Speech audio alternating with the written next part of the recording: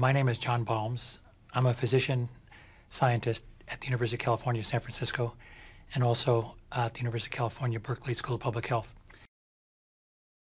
Asthma is a classic gene by environment disease, and there are multiple environmental risk factors in addition to heredity that uh, can influence risk of asthma and risk of exacerbations of asthma.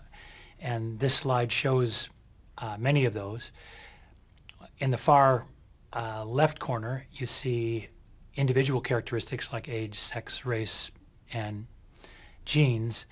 Uh, and then around to the right, various exposures such as tobacco smoke, outdoor and indoor air pollution, uh, infections, obesity, et cetera, that can impact asthma.